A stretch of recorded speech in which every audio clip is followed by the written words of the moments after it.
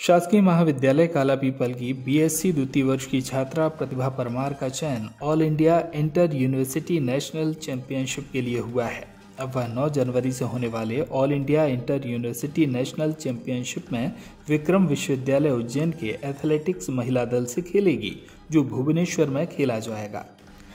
छात्रा की उपलब्धि पर महाविद्यालय के प्राचार्य डॉक्टर ओम प्रकाश शर्मा ने छात्रा को बधाई और शुभाशीष दिया और उनके उज्जवल भविष्य की कामना करते हुए उत्कृष्ट प्रदर्शन के लिए महाविद्यालय परिवार की ओर से शुभकामनाएँ दी गईं। महाविद्यालय के क्रीड़ा अधिकारी डॉक्टर शाहवाज ने जानकारी देते हुए कहा कि प्रतिभा परमार ने 26 दिसंबर 2021 को उज्जैन में हुए संभागीय एथलेटिक्स प्रतियोगिता में उत्कृष्ट प्रदर्शन करते हुए शॉर्ट फुट में प्रथम स्थान प्राप्त किया। जिससे उसका चयन all India inter university national championship के लिए विक्रम यूनिवर्सिटी उज्जैन के दल में हुआ। डॉक्टर शहबाज ने यह भी बताया कि वह पिछले कई महीनों से कठिन परिश्रम कर रही है।